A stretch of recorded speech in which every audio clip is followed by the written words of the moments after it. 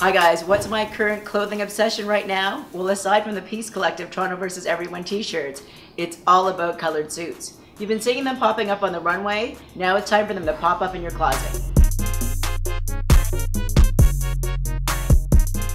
It all started last spring with the brilliant blues that we were seeing, then moving into the burgundy reds, and then for this fall, really stepping it out in the green and the purple tones.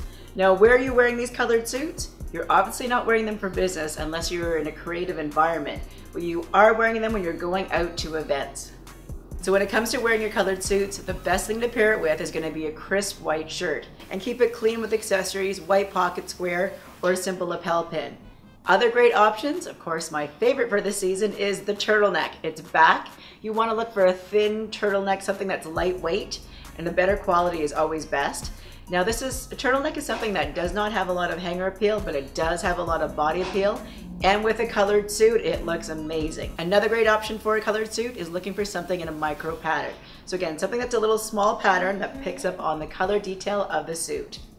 So guys, if you're looking for something fun to wear for the holiday season and all the events and parties coming up, think about a colored suit. It will add that special pop into your wardrobe. And don't forget to pick up a Peace Collective t-shirt before they're all gone.